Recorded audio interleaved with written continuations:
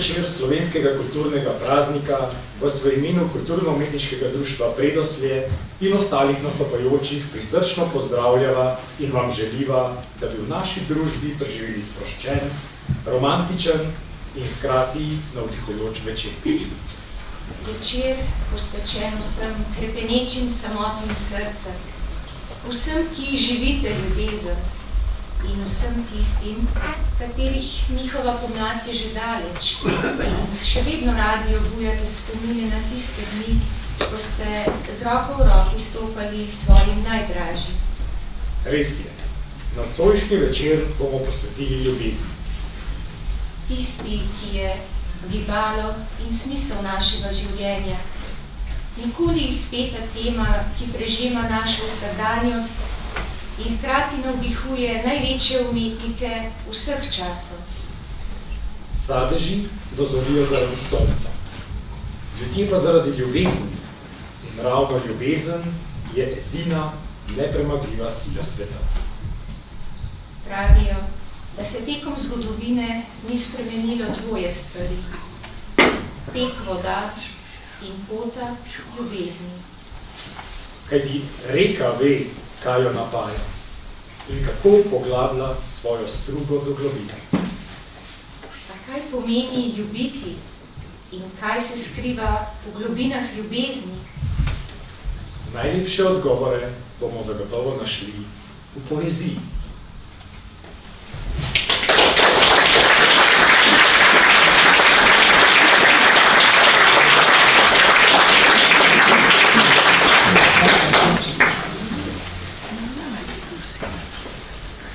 Arabesko ljubezni, ki nam zdaj sveti, je mojster naslikal pred davnimi leti. Misteri dvojine, ki nikdar ne mine, polni nemira, strasti in topline. V ljubinah ljubezni je skrita uganka. Kaj vzame? Kaj dati usoda neznanka? Tam strogi sodnik je, ki tehta obljube, ta mila je vila, ki šteje poljube. Res svetle so zvezde, kometi barviti, srce pa edino, ki more ljubiti. Rojeni pod srce, si k srcu želimo. Tisoč in eno noč krepenimo. Thank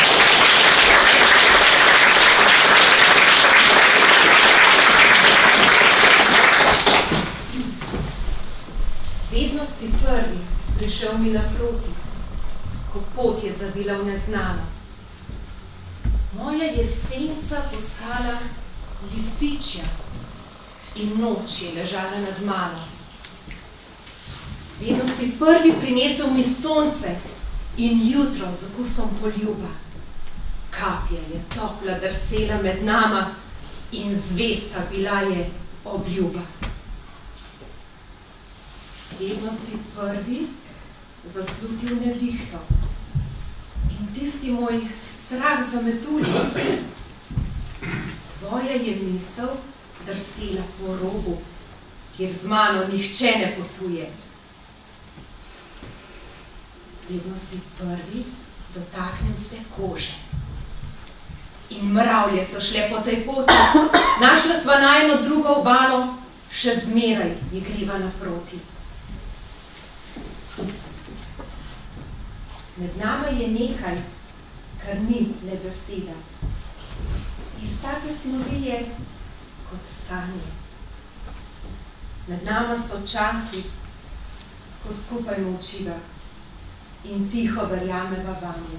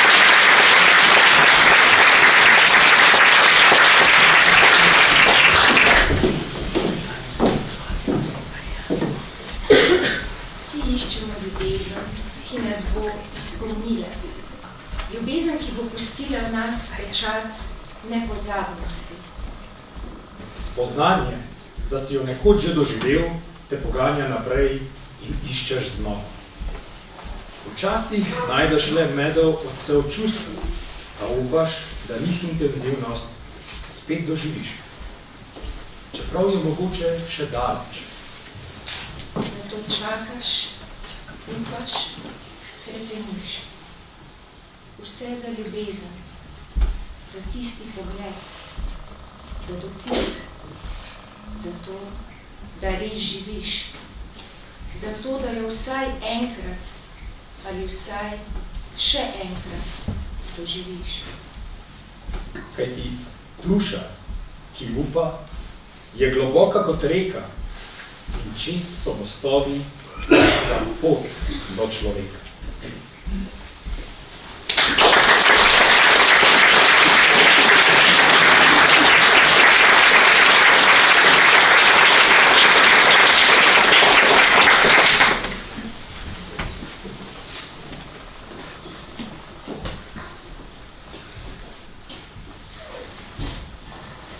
Čakam te. Čakam, prisluškujem in že. Kdaj med tisoči stopin začutim tvoje, kdaj med tisoči zaznam tvoj dih. Posod te iščem, po vseh križiščih, po vseh poteh, potezah prihajajočih in odhajajočih, v igri oblakov, menjavah senc pod večer. Leta dolgo te išče. Nekoč boš prišla z lasmi, dišečimi po vetru in brezmejni prostosti, usodna, neizbežna, z očmi pogubnimi, kot zamolkal tolmun, ki skriva v sebi zdaj smrt, zdaj življenje. Nekoč boš prišla, ker moraš priti.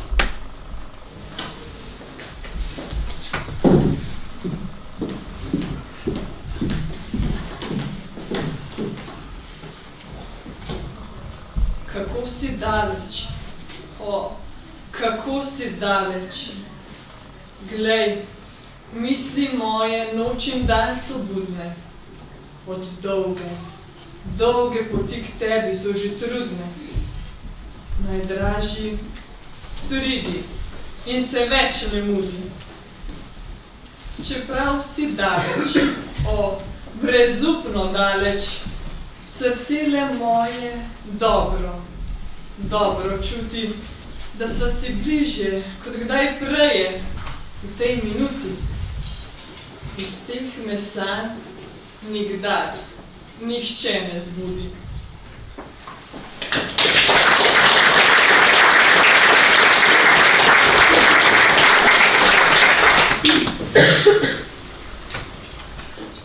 Odkar vem zanjo, imajo dnevi modre oči in vode barvo njenega krila.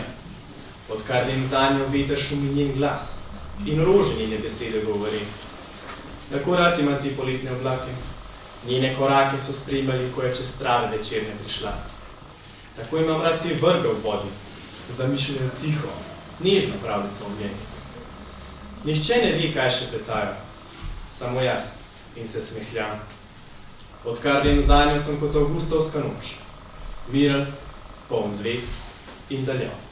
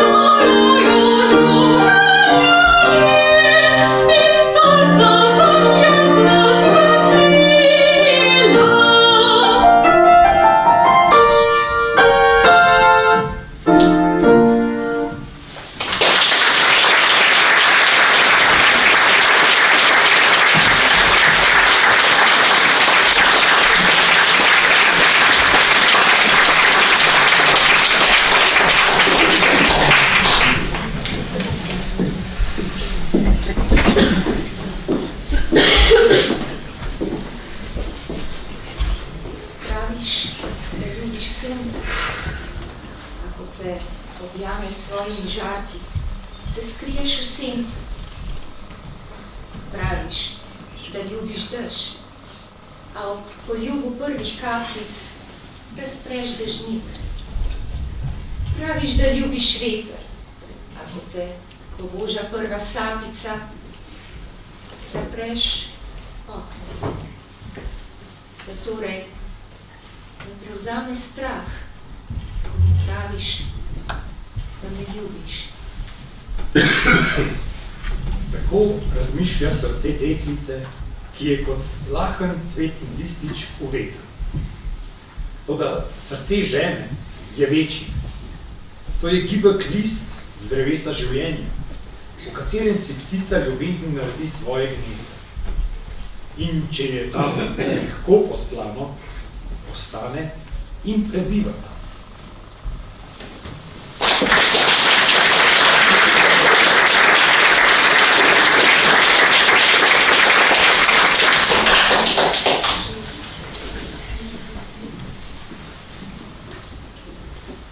Saj vem, da ni hit melodija in tudi ne princ med princi, pa mi vseeno srce razbija in gomazijo po hrbtu mravljinci, ko ga srečam, ko me pozdravi.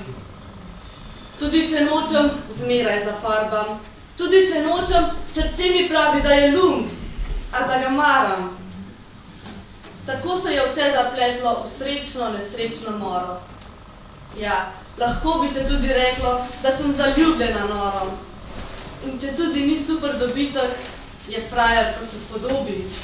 Hoditi z njim je užitek in ne le priložnosten hobi. No, zdaj pa dajmo še en selfie.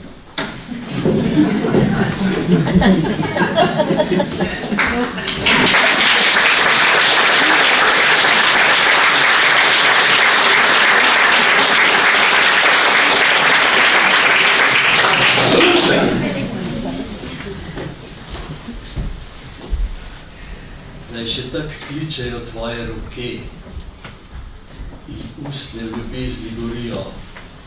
Tvoji prsti, deklica, tako boječe drhtijo.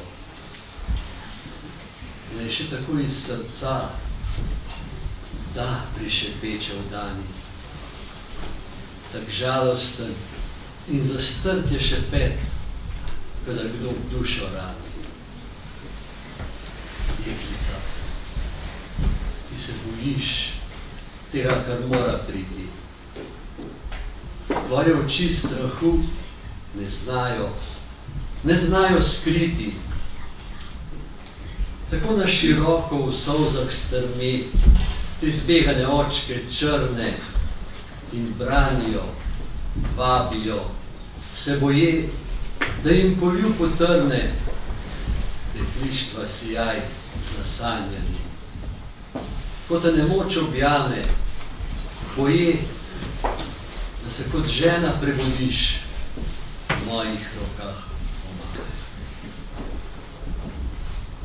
Deklica, tebe je strah. In vendar ne giblješ k meni zaljubljeno prsi preplašene.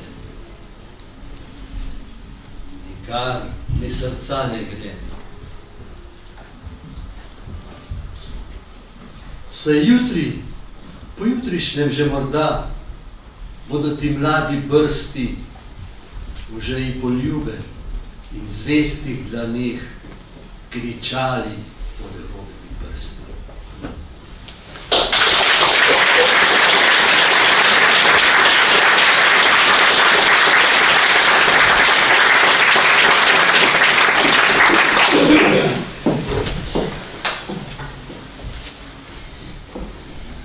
Daj, leži.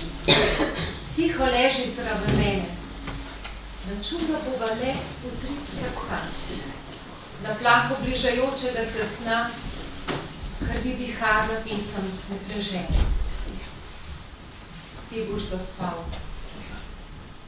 A jaz bom tiho pela v spavanko, za moje dete malo, se je za življenjem najokalo in čaka, kdaj ga bom roditi smela. Ne leži, tiho leži zraven mene. da bova slišala utrip srca, da plako bližajočega se sna, krdi viharna pesem, ne prežene.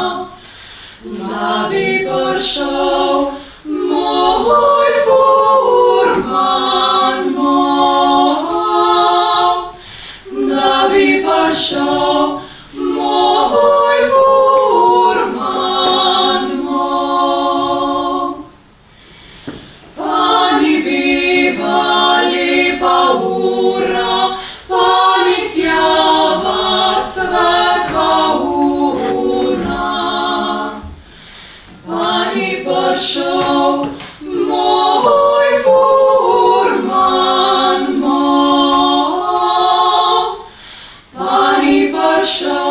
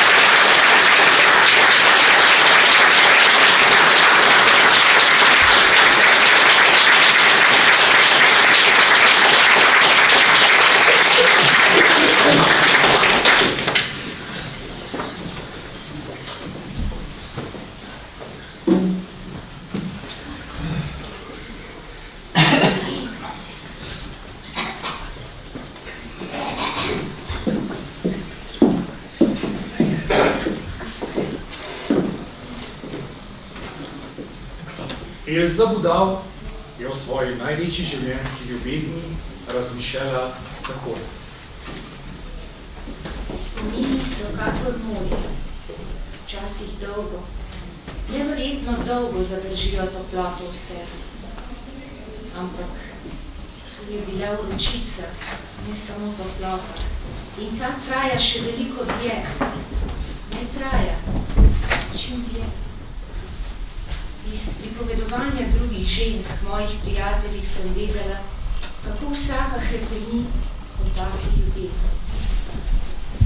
Nižni, strastni, novi. In morala bi biti srečna, da se mi je sploh zgodilo že samo to. Bolj slutila sem, kakor vedela, da sem z njim doživela največ, kar lahko ženska doživi z moškim. Vse. In postalo me je strah, da bom odslej vse moške primerjala samo še z njim. Morda si ne bom želela nikoga več.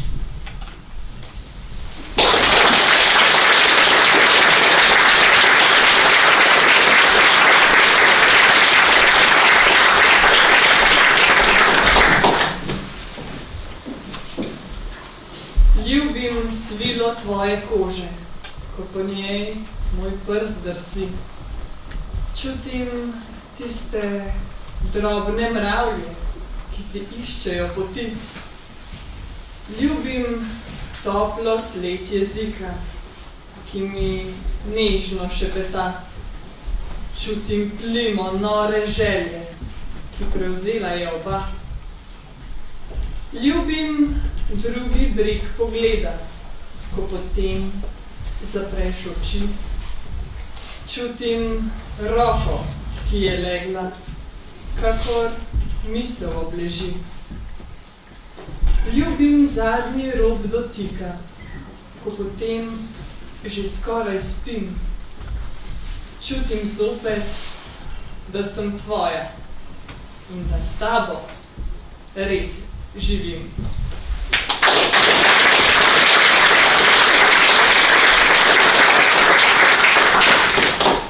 Ko sva sama. Ko sva čisto sama, ptici izpod hišnega napušča na koralni čeri sredi oceana. Ko sva čisto sama, južni sadež v ustih severnega deča. Ko sva sama, ruda žitnih pol v cvetlični vazi. Ko sva sama, ko sva čisto sama, z varnim ničem vse okoli sebe. Vsa brez korenin spomina, brez plodov izkušnje. Ko sva sama, ko sva čisto sama, ko sva še samo drhteč objem, misli, če je misel možna. Ko sva sama, ko sva čista sama s sabo, da sem Bog, če ne bi te tako soživel, zemeljsko te ljubil žena najpopolnejše od vsega, ko smo sami. Ko smo čisto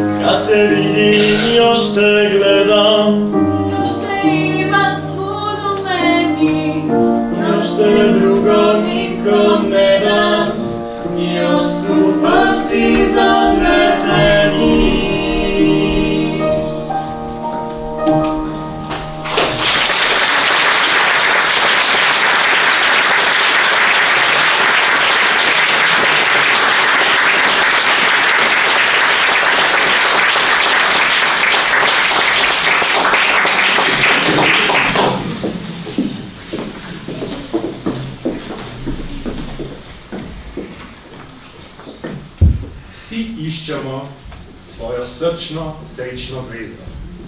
Nekaterim je dano, da jo ohranijo, nekateri jo zadržimo v svoji roki le kratek čas, da občutimo njeno lepoto. Nekateri pa je ne srečajo nikdar. Pote ljubezni imajo pač začrtano pot, prav tako kot tok reke, ki svojo strugo usmerja po spokojni ravnini, pa tudi po strmem, nemirnem pobočju.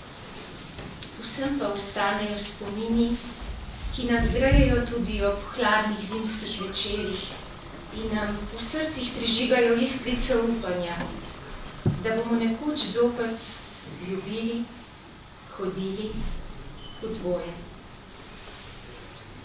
Prijeten večer v dvoje vam želimo še naprej in lahko noč.